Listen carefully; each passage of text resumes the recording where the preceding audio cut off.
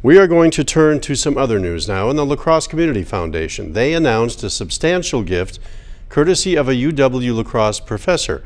News 19's Crystal Flintrop explains about that contribution, which is designed for a specific purpose. That's right, and it's an impressive gift, $3.2 million, all to advance arts education. Ronald Berman's charitable legacy will be divided into four funds, three of which are dedicated to arts education in memory of Berman's wife, Valerie, who taught art at various institutions.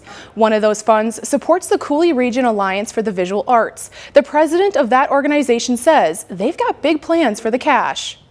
They involve young artists, and two of the objectives involve young artists and their parents. So uh, we'll be pursuing that. I'm making contacts with the school systems, both in La Crosse and the Coulee region, and uh, we'll be putting together some proposals on how to help the young artists.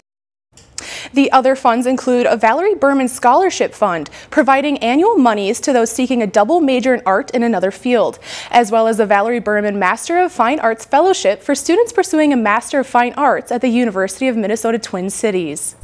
Thank you, Crystal. At 6 tonight, we'll tell you about the impact of this gift and how the $3.2 million will factor into a vision for the La Crosse area.